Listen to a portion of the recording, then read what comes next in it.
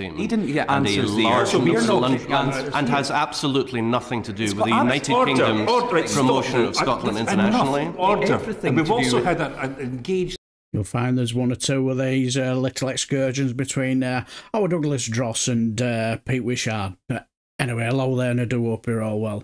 Now, as you can tell, that's in the Scottish Affairs Committee, and that was on the Monday, the 20th of March 2023.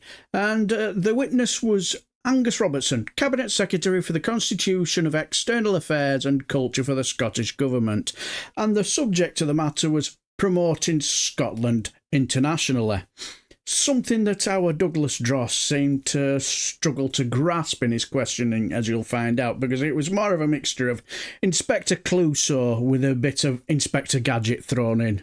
Mr Robertson, uh, clearly um, international governments will be interested in the Government of Scotland.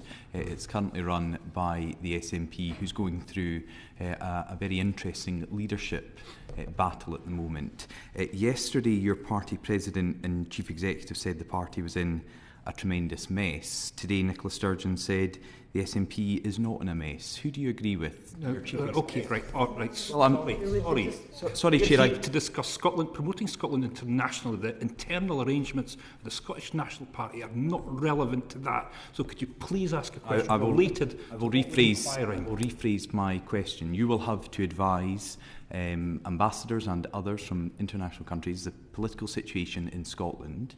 When you are doing that, would you agree with Nicola Sturgeon, who says the current governing party of Scotland is not in a mess, or with your chief executive of the SNP, who said it's in a tremendous mess? just good to take that note. You will have to advise foreign governments. Um, um, so I'd, I've I've not spoken into to any foreign governments who, who do about. you agree with, though? Um, I think the, the Scottish National Party is going through a leadership contest where different people have different things to say. Although um, there's plenty that could be say about that to be said about that, but I'm, I'm not sure what that has to do with the United Well, Kingdom I have- government's Order, promotion. order, right. It's got absolutely nothing to do with promoting Scotland internationally. We've had an answer. Now, could we please move on to... We've precious little time with the Cabinet Secretary. We're trying to find out what the views about Scotland being promoted internationally. Can we please stick to that? I, I prefaced my question twice, and I think it's a relevant question, but the Cabinet Secretary is unwilling to answer, and I think people will reach their own conclusions about your chairing uh, of that uh, part of this session. Uh, Mr Robertson, you're commonly referred to in the Scottish media as Air Miles... You're commonly referred to in the Scottish media as Air Miles Angus. Do you think at the moment the amount of international travel that you do and the cost to the Scottish taxpayer is seen as a priority when there are many other issues that the government should be focusing on and putting very valuable taxpayers' money towards? So I, I see the promotion of Scotland internationally as a matter creates jobs, that creates investment, that supports and promotes tourism and culture. And uh, I and my office decline more invitations to attend international events than I actually do. Do I think that the travel that I and other Scottish Government ministers undertake in pursuit of the promotion of all of those advantageous um, uh, elements that a government is actually supposed to deliver on is a good thing. Uh, I think we provide good value for that, uh, and I, there are a great many more things that I could visit and places that I could go that I've uh, yet been to. But my, my job description is Cabinet Secretary for External Affairs, and the clue's in the name. So my job is is there to promote Scotland internationally, and that's exactly what I'm going to do. That's what your job description says. My mm. question was actually, what do you think of the perception of your constituents in Edinburgh Central, mine in the, the Highlands and Islands, about that being the focus and taxpayers' money going in that at the moment, when there are critical issues that, that your government uh, is seeking to, to deal with, in the challenge sure. in the NHS, in education, etc.? I'm sure if they didn't want me to do that, they wouldn't have elected me in an essence. They, they, Again, from they, they didn't elect I, you. As, I, well, may, sorry. May I finish the question, convener? Not if we're going to mislead, Order, because right. he was not sorry. elected in that position. Look, look, how this works is you ask a question, we get you. You don't let the question. You don't have to put the answer. You can you can ask your question again. I will. Please. Thank you. Well, if I can move on, you mentioned um, Minister Offord's comments about your meeting with the Icelandic Prime Minister. Did you or did you not speak about independence with the She Icelandic- asked me about independence. So you spoke about independence. Prime Minister of Iceland asked me about independence. So you spoke about independence. I answered her questions. Yeah. So therefore, Minister Offord was correct in what he said uh, about the discussions that you had had with international uh, counterparts and governments on Scottish independence? Because you said um, You never put independence on the agenda, but that doesn't mean you never speak about independence at these meetings. I'm, I'm very polite and I answer people's questions, Mr Ross, as I'm trying to do to you. So I'm just checking, when you said to this committee that you never put independence on the agenda, that doesn't mean that you never speak about independence in these meetings. If people are keen to ask me questions, I'm always happy to answer, Mr Ross. Well, it would be interesting if you had answered about the current political state uh, of Scotland, but we're not allowed to ask about that. So you can confirm that you did speak uh, about independence with the Icelandic Prime Minister uh, in the October meeting of the Arctic Council. Circle. I, I refer to the answer he gave a moment ago. Yes or no? It's, it's I did say yes. Yes. I was asked a question and I answered it. uh And then in Which, which, sorry, sorry, which, as I've already mentioned, would be subject of a report by the by the UK ambassador to Iceland that was in the meeting with me. I was just going to come on to that because I, I noted down in response to the chair, you said that the uh, ambassador or any other diplomat has never raised concerns about you speaking about independence in these meetings. But would you agree with me that diplomats would never do that? They tend to sit very poker faced, as Mr. Whiteman is doing throughout this session, and would never interject in that way. It may come out uh, in a, a readout of that meeting following. They would never. Could you imagine uh, a diplomat ever interjecting between two politicians in that way? Um, I, I don't think that's uh, how it would work. If there was ever, if there was ever an issue that needed to be raised, I, I would never presume that a British diplomat would not uh, choose a diplomatic way in making their, their views known, this, known on, on the subject. But yep. never had. I ask on the, the British diplomats? Do you always refer to them as British diplomats, British ambassadors? Do you ever use colloquialisms when you're referring to them in these meetings? What colloquialisms well, I, would I'm those be? asking, would you ever call them anything other than the British uh, diplomat, the representatives of the, the British or the UK government? Have you ever used any phrase uh, other than that? What, what would those be, Mr. I'm Ross? asking you, have you ever used anything other than that? I'm not, a, I'm not aware of what phrase you have in mind, Mr. Ross. I'm a, well, the phrase I'm asking you, do you use, do you always 100% refer to them as British ambassadors, British di diplomats, or have you ever called them anything else?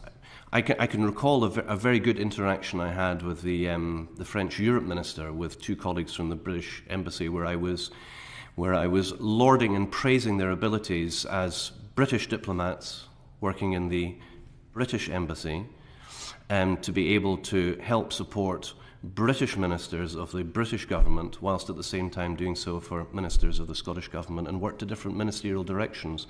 I think it was very clear then, I think, and pretty clear in other, every other interaction that I have. You'd never call them the, the English diplomats? No, I don't think so. Never? I don't think so. Just checking for this committee that you wouldn't mislead the committee deliberately. You've never called them the English diplomats? British British diplomats, like British civil servants, are British um, diplomats or British civil servants. You've never called them in these meetings the English diplomats. I, I don't see why I would say that. It's, it's, yes or no to that question. I have no recollection of ever saying such a thing. No, you've, you've never said it. Like, can we please move well, on? I, I know we, he's, he's answered about three well, times. He's not actually. Uh, have you ever used misleading statistics when you've been representing the Scottish Government abroad? I think what Mr Ross is referring to are statistics that were used both by the United Kingdom government and the Scottish government in relation to renewable energy potential. Um, which, ever, which have which, which ever used them which, when you knew they were wrong? So I, I, I have been extremely careful that when I have become completely aware that statistics are out of date, they've been uh, they've been updated. Um, they're no longer the best um, uh, statistics uh, to use. That, that, that, that, those are statistics that I, I don't use, and I sh should use the uh, the current statistics on. So just on on a timeline, uh, your department were told on the sixth of September. Uh, about a statistic, the 25% uh, potential renewables from Europe. This is this Order. is about this. No, no, Chair, I cannot believe you're going to stop uh, a politician. I, cannot believe you're going to do this, Order. Chair. This is this is incredible. If you're going to do what I think you're going to do, I wonder if you are following your duties as an impartial chair of this house. What I'm trying to do is try to conduct an inquiry into promoting Well, Scotland let me ask the question. That question bears absolutely no relation unless you get some, some point of conclusion about it. Well, I will. We're here with the okay, cabinet right. today. So the to- conclusion is that on the 4th of October, you spoke to governments uh, across Europe about a statistic you had been told on the 6th of September should not be used. Your department then went back to say the cabinet secretary, uh, we have a specific ask to include that uh, uh, figure in a statement. They were told minutes later that we don't have the evidence to back up that statement, therefore we advise against using it, but you used it at subsequent meetings. Why was that? So, convener, uh, you, you'll be aware Chair. that this is No, the Scottish This Parliament. is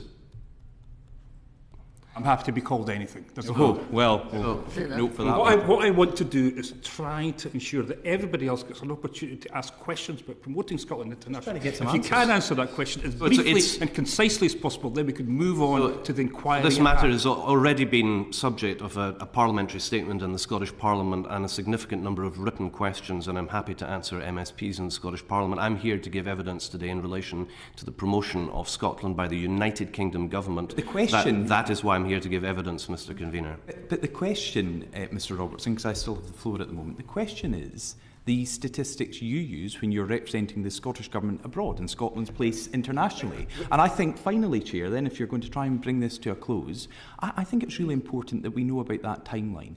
Did you knowingly use a, a statistic when discussing this with foreign governments that you had been told was wrong, could not be proved, and had been asked not to include? Yes or no? So, Convener, I, I refer to my previous answer, which is this has been subject to a parliamentary statement. He didn't get and a answers there, large so not lunch- and has absolutely nothing to do with the United Order, Kingdom's order, promotion stop. of Scotland internationally. Enough order. Everything and we've to do also with- had an engaged and prolonged discussion about this with another Scottish Government minister when he was here. So can we now please move on to promoting Scottish international? If you finish, we've got three colleagues, we've only got half an hour with the Cabinet Secretary. Can we move on? Well, I still have time compared to what you got at the start. I, I think it is really important, though. You said you've given uh, statements to the Scottish Parliament and answered questions about this. You'll also be aware that the press have said almost exclusively that you refuse to answer. Philippa Why are you refusing to answer Order. to this committee as Order. well? We've been through this. We've Chair, dealt think with we'll it. have to have a We've had discussion it. about Yes, we will have to have a of this- discussion about this it. meeting as well. Philippa Whitford, thank you.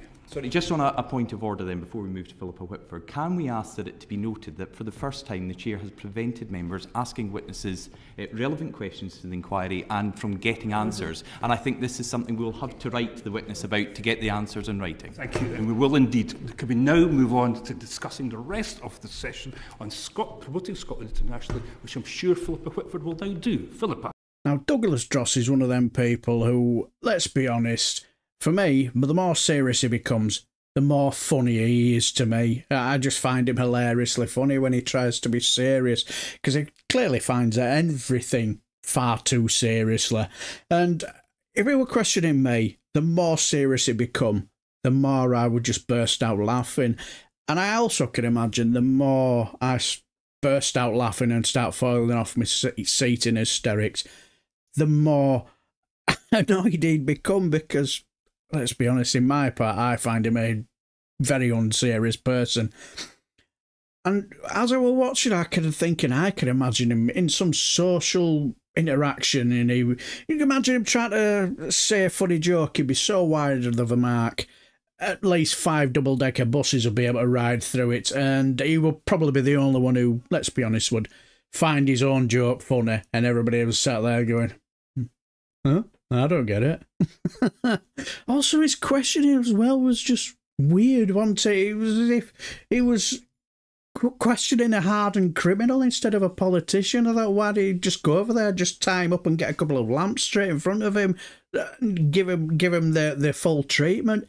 He was just an absolute clown, wasn't he? Now, for all you know, you might find the interaction with Pete Wishart, he might have a point. You might disagree with Pete Wishart. I don't know. But all I'm saying is, let me know down below. And if you enjoyed the video, give it give it a like. And also, I do cover these sort of things in uh, select committee meetings and sometimes stuff in the House of Commons, so subscribe. Now, come next week, things will be a little bit different because I've been tearing my way up and down these uh, select committee meetings over the last month or two ago, and I've still got to wait till September the 19th for uh, recess. So these this will be the last of the select committee meetings. I might try my dab hand a little bit, little bit of pitter patter of live streaming, just to get through get through till September the 19th. Then we'll be back to normal, and uh, I might book a couple of days off early before before recess get my channel all ready. So all I'm saying is have a fantastic weekend, my friends, and take care.